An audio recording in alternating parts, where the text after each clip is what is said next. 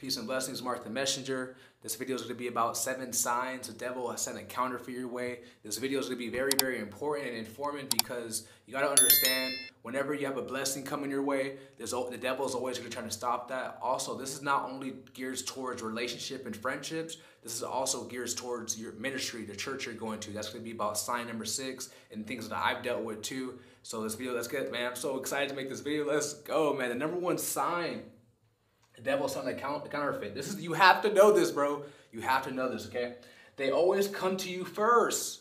Why does the counterfeit come to you first? Because they were sent by the devil. Okay, you gotta understand there's in the spiritual realm that we can't see with our physical eyes is God's kingdom and Satan's kingdom. Satan's kingdom is working overtime to try to stop you chosen ones, you God-fearing people, you people who, you know, who are doing the will of the Most High. Satan's kingdom and his children and his, his agents, these devils and demons, they're working overtime.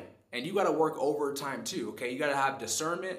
You have to operate in faith. You have to understand the signs are, you know, this of spiritual warfare and how the devil's coming against you, especially when God has a blessing coming your way. So they always come to you first. Now, I gotta always say this. This should be common sense. You know, not everyone who comes to you first is an agent. This is why you have to have discernment, and you only could discern the spirits through, you know, the Holy Spirit. Okay, so Always keep that in mind. All right, so they come to you first. Be aware.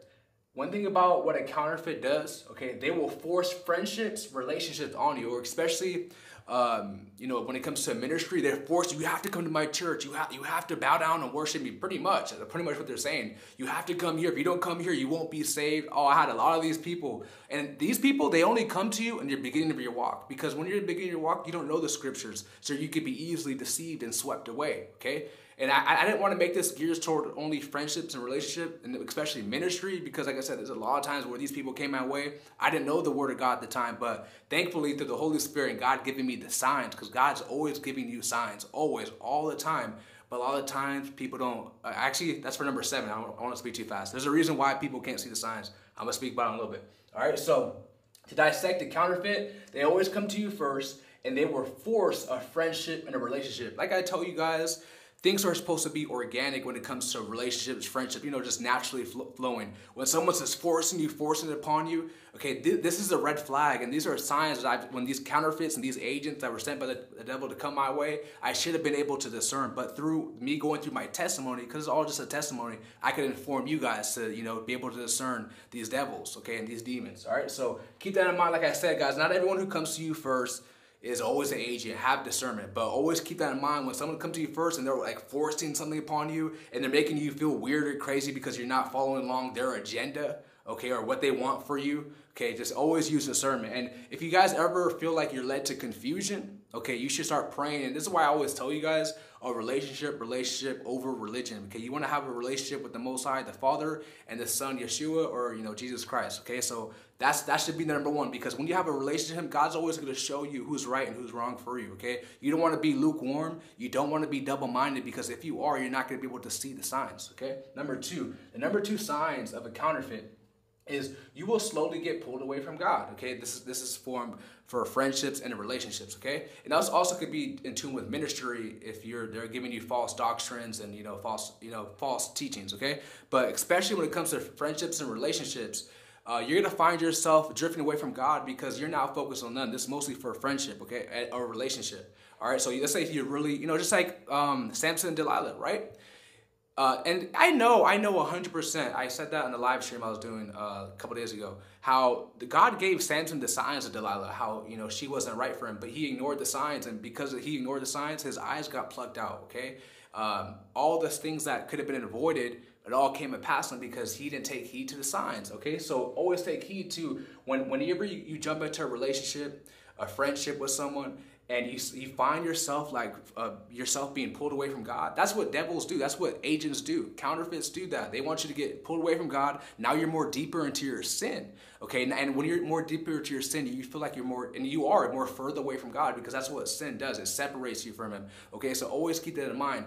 Their, their goal is to get you to be spirit to a spiritual death, okay? For you to be spiritually dead, uh, not operating in the Holy Spirit, to be carnally minded, to be double-minded. That's the whole goal of the, the, the enemy, okay? So always keep that in mind. When some when you feel like someone, especially for you sisters who are in relationships, whenever you feel like a man is, is pulling away from God, he's supposed to get you closer to God because the closest to God you will be is by being submitted to a man. It's all about order, okay? So whenever you see these signs right here, Okay, this is this is an obvious sign, and there's a Bible verse that says Proverbs. I'll leave verses all throughout the screen too. Uh, Proverbs chapter 14, verse 12 says, There is a way that seems right unto a man, but the end thereof are the ways of death. There's two verses that say that in Proverbs, which, you know, one wasn't enough because it's so true. There's many times where I thought I was on that right path, okay? I got into the right friendship, okay? Uh, the right relationship, but it was only the end of death, man, because that's how it is. This is how it is. This is why you got to move in wisdom, okay? Wisdom and knowledge. And the Bible even says that my people perish for lack of knowledge, okay? So always keep that in mind, all right? And Isaiah chapter 59, verse 2, like I said, I'll leave verses off the screen. Um, sin, it separates you from the Father, okay? Number three is when the person gets you to backslide or go back into darkness, and then they will disappear, okay? This is something that I really, really noticed. Not just with with multiple people, okay? Whenever, like, remember in the beginning, in the beginning stages, they force, they, they're forcing you to get with them. They're like, they'll always, always hitting you up. But once you start to backslide, or once you start to find yourself in darkness in the deep pit of sin, and they just disappear, they're not there to help you back up. They, they want to know why? Because they, they, their, their mission by their handler, by the devil, okay, was already accomplished. So there's no need for you. And you got to always keep this in mind too. Whatever mission whatever assignment the devil gave him, just, just how God give his soldiers, okay, assignments. The devil gives his children, his soldiers, assignments too, okay? So whatever assignment the devil gave to destroy an individual, if they failed that assignment, they're going to be utterly casted away. I've seen this many times where these people, a couple years later, they were just messed up, man, because it failed. The assignment they had on me, on my life, okay? And we always keep this in mind. When you have a high calling from God, you got to expect the, high, the stronger attacks by the enemy, okay? Your attacks are to be a lot stronger. And this is why it's the every day, it's a fight, man. And you got to love God with all your heart, all your mind, your body, and soul. If you do that, you're good, man, okay? You got to obey his commandments, all right? So always keep this in mind.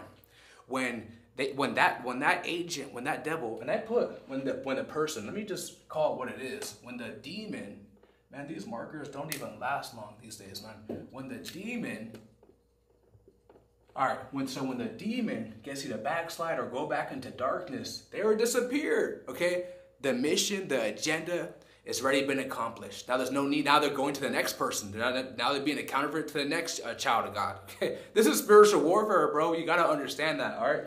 Oh, always keep this in mind. There's so many times I'm like, where are you? Where are you? You know, where was that energy when you're forcing a friendship me, when you're always hitting me up? And all of a sudden now I'm down, down bad, you know, spiritually, and now they just disappear. You know, they're nowhere to be found.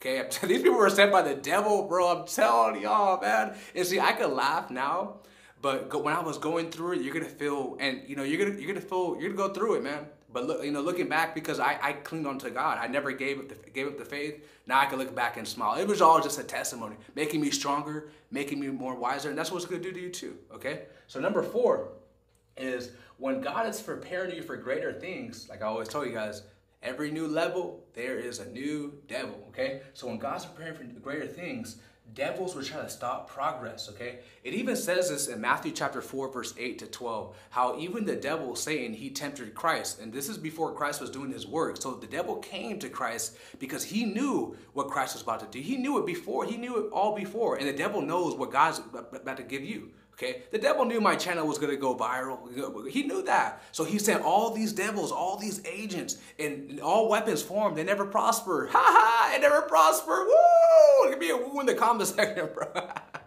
man, feeling good, man. All praise the Most High. But the devil knew. Okay, he knew Christ was about to do. He's about to, you know, save souls. Okay, he knew that.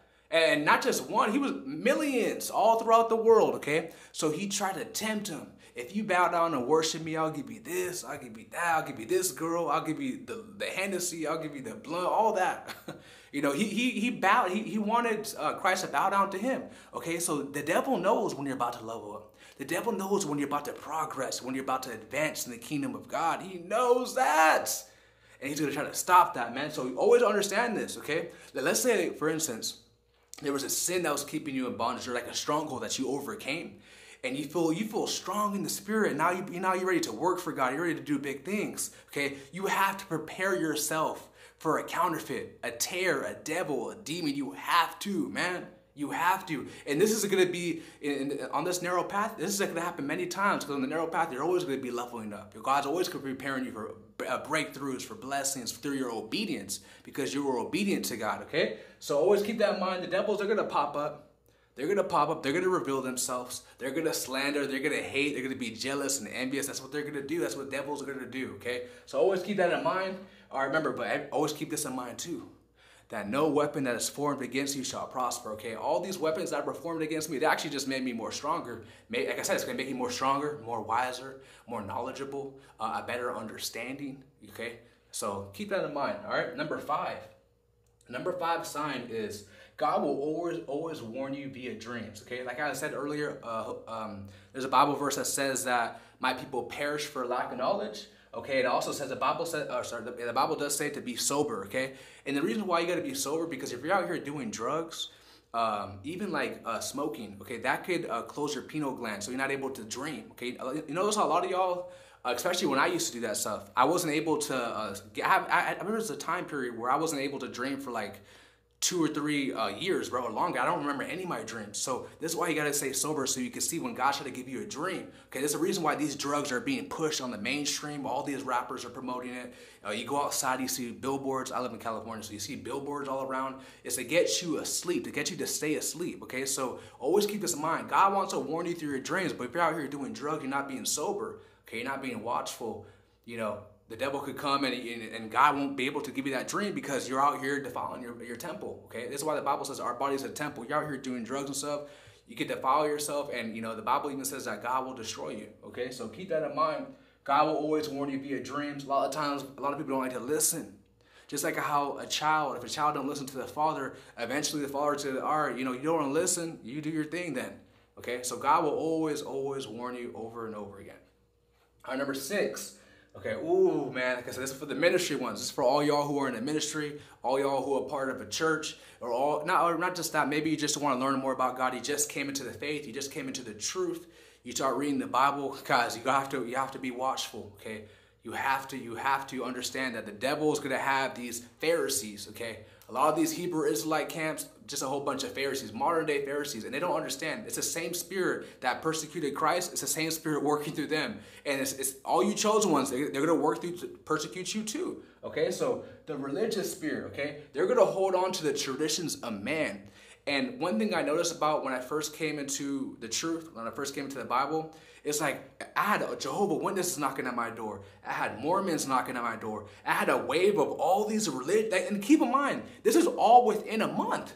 This didn't happen before. So this, this is how I know this. The devil saw my, my calling. He knew that God was waking me up. And here comes all these religions. And you know, but even in the midst of all these deceptions, even people in Christianity, okay, try to control me, try to tell me that I can't be saved because I don't go to their church. It was just like blasphemy, bro. Complete blasphemy. And this is what religious spirits do. They want to control you. And if you don't obey what they listen to, or if you don't follow what they listen to, they'll utterly cast you away, call you a bug out, all the all these type of things. So always keep this in mind. Always understand that the religious spirit, just because someone calls himself a Christian, a Hebrew Israelite, or any any of these, all these dominations, all okay, you know, always keep this in mind. This is why the Bible says to test the spirit, okay? Just because someone gives you knows a lot of Bible scriptures, uh, you know, someone's a, uh, um, a pastor or a bishop or a deacon, it doesn't mean nothing, bro. It doesn't mean nothing, okay? If they're not aligned with, if they, they don't have the Holy Spirit within them, okay, it doesn't mean nothing, okay? So always keep this in mind. The deception is real. When you first, now, as you start to get age and more wisdom and mature, they don't come your way no more. This is how you know this is spiritual. The Jehovah Witnesses don't knock on my door no more. The Mormons don't knock on my door. Uh, none of them. None of them do, okay? Because the devil knows that I, I already know that I already know this. I already know the truth. I already know the Bible. They can't deceive me no more. Because when I was a first a baby in this truth, you know, I didn't really know the Word of God. I know a couple scriptures, but I didn't really know much. I didn't know that all these other religions are in darkness. Okay, I had no idea about that. So thankfully, you know, as I started to study to show myself approved, okay, they can't deceive me, and the devil knows that. So he ain't gonna send those people my way. But for those of you who are new to the truth, you're gonna be you're gonna be swayed away by all these different doctrines, these different content creators that are, you're watching on YouTube or these churches that you're going to. Okay, this is why you must be led by the Spirit of Truth, whom the world can't receive because they see Him not, neither know Him. Okay, the Spirit of Truth is what's gonna keep you saved in these last times, man. And the Bible even says that God will give a strong delusion for those who receive not the love of the truth. Okay, so you want to have and seek the Holy Spirit with with all your with everything, man, with everything. And if you don't have the Holy Spirit, I recommend and, and you should require to get baptized. Number one, and pray and ask God the Father to so He can give you the gift. All right. Number seven is God will send many signs, but only the chosen will see. I was talking about that earlier, okay? There's a Bible verse that says in Matthew chapter 16, verse 4, an adulterous, wicked generation seek after sign, but no sign shall be given unto them, okay? So you're not going to be able to get these signs and see these signs if you're wicked, okay? If you're of the devil, if you're of darkness, you're not trying to get right with God, okay? Not to say that you're going to be perfect without sin, but if you're not trying to get right with God, you're not trying to, you know, seek uh, the kingdom of God and his righteousness daily, you ain't trying to do that, okay? You're not going to be given these signs, okay? You're going to be swept away by the devil. And sometimes that could be God judging you, okay? Allow, allowing these counterfeits into your life to destroy you. It could be judgment because you rebelled against the truth, okay? You rebelled against the truth, man. You, you rejected Christ. You rejected his teachings okay, which will make you uh, upon a rock through his foundation. You rejected that. So sometimes God will allow the counterfeit in your life, okay? Or let's say if you if you need to get chastised, sometimes God will allow them into your life to humble you. Okay? So always keep in mind, the wicked, they will, they will look after many signs, and the, the, the adulteress and adulterer, but no sign shall be given to them. Only the chosen, only the chosen one. Matthew chapter 22, verse 14. Many are called, few are chosen. Only the chosen will be able to see the signs. So hope, hope you guys got blessed by this message. These are the seven signs the devil has sent a counterfeit, okay? If you haven't already, make sure you guys like the video, subscribe to the channel, share this video to all your friends and family. I love you guys so much. I'm out. Peace.